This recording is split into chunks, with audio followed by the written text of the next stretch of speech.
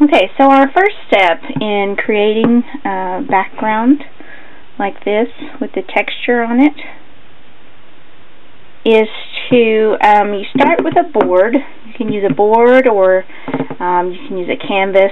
Um, if you're using a small canvas, it'd be better if you're using, if you want to make something quite large, you may not want to use canvas because when you put the metal on, it causes it to be a little heavy and the canvas can flop back and forth.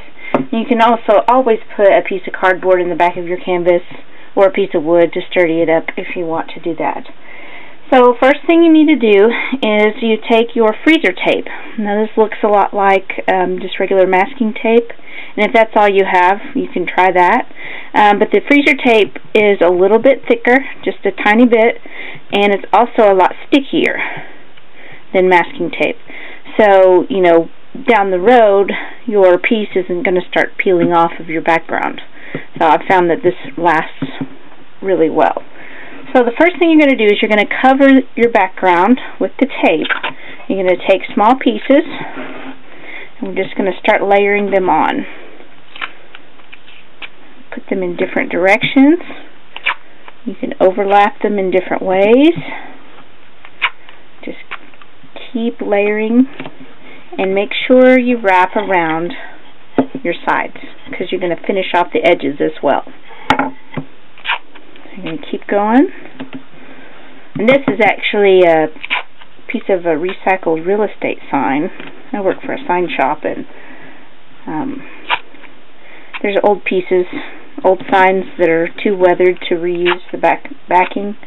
But if you cut around the outside edges, then you have all this good wood still left in the center of the sign. So I utilize that when I can. So you're just going to keep tearing and covering. All these different edges here are going to show up when you do your paint layer. You have like a nice line here, and then there's a torn edge, and a line and a torn edge, all different directions. Your paint layers that we're going to do are going to really bring out all that texture. And it almost looks like a palette knife texture with oil paints. Only we're not going to be using oil paints. We're going to use just some cheap regular acrylic paint. So just keep on tearing and placing this down until you have your entire background covered and then we'll go on to the next step.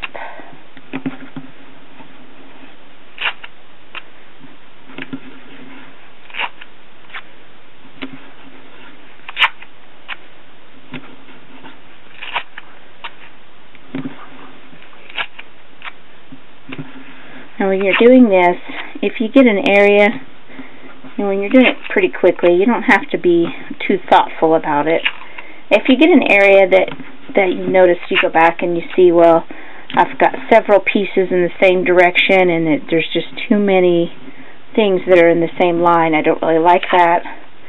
You just tear a tiny piece and you place it over that section, and then you can get your variation that way. And I did teach this class at Create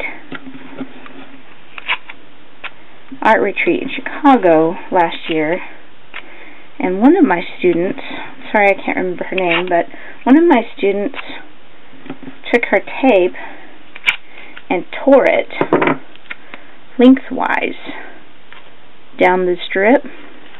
And then she placed the pieces in a in a vertical pattern so that all her edges were up and down.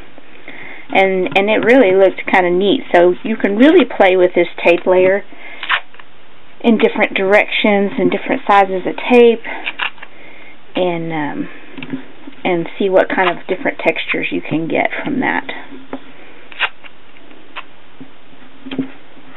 So just continue to cover, making sure you cover your edges of your canvas or your board. So now I like to put put a little bit. I do the same thing on the edges that I do on the top. Some I'll do vertical, horizontal, different diagonals to get a nice difference in pattern on the edge, just like we do on the top. So continue covering your board, and we will go on to the next step.